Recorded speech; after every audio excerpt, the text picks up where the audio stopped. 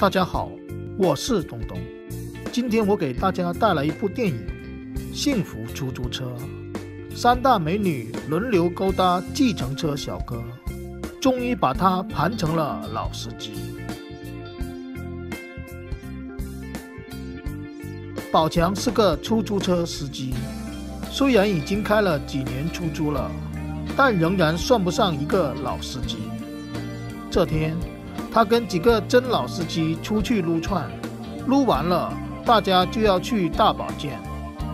可是这宝强呢，天生是个怂货，假装自己有生意就走了。结果这货自己在车里看小电影，这火箭正要升空的时候，被郭董的一个电话叫过去接他。宝强大发牢骚：“有钱了不起啊！”没想到和这老男人一起上车的，居然是他学生时代的女神金莲。宝强不禁想起了一些美好的回忆。不一会儿，金莲把醉醺醺的郭董送到宾馆之后，让宝强送他回家。下车之前，还把自己的电话给了宝强。这天晚上，宝强按照约定和金莲约会，不曾想这一来就来三个。可爱的小梅和文静的小慧，看到这里我就不高兴了。为什么韩国的屌丝总是如此幸福？开个出租也能拱白菜？哎呀，不开心。隔天呢，这四人帮一起出去浪，到高档餐厅吃饭。宝强本来想吃一个肯德基儿童套餐，可半天都没找到。那服务员。还给他推荐什么法国大厨套餐？宝强一看那价格，脑壳都大了。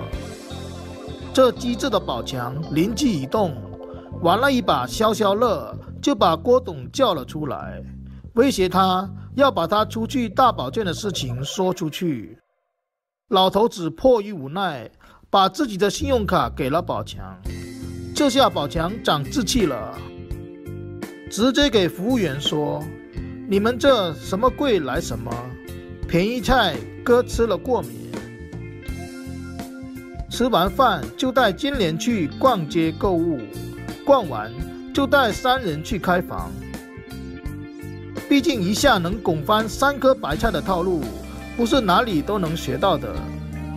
果然，这晚上小哥宝强就把金莲给推翻了。可这一下梦想成真吧，宝强还真有点不习惯。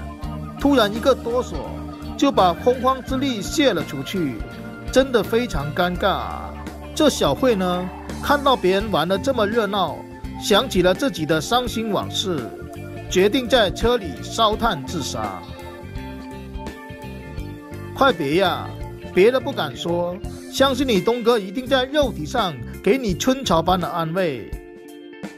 于是呢，我就附身在宝强身上，把小慧给救了出来，给小慧一顿套路。哦，不是，是安慰。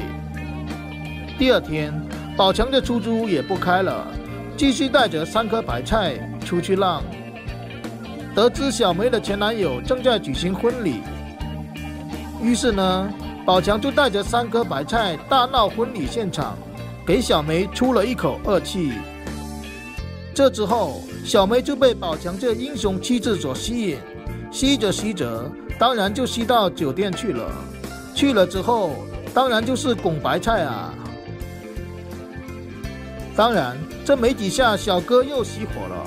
没办法，谁让你是辆韩国车呢？但神奇的是，在宝强跟另外两个女的趴完之后，小慧还觉得宝强是个好人。想和他在一起，我操！第一次觉得这好人卡是个好玩意呢。得到这好人卡之后，这宝强又把我家小慧给趴了，这不能忍！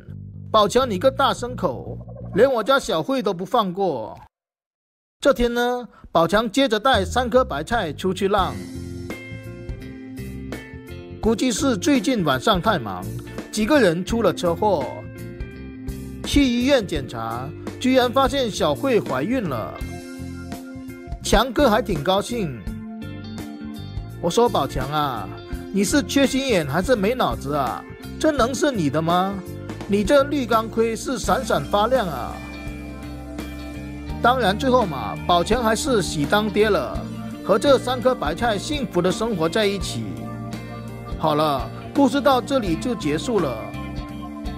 看完这片子，我只想对棒子说：如果贵国的女人都那么欠，那么也请给我三颗白菜，假以时日，我还你海陆空三军。